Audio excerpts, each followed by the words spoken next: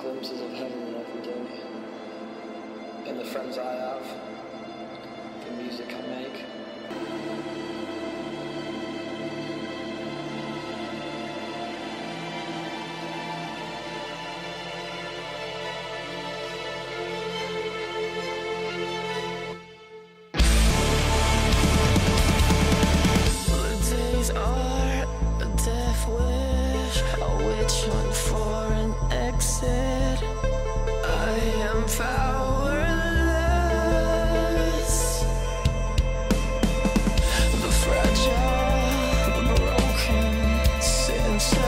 stay unspoken.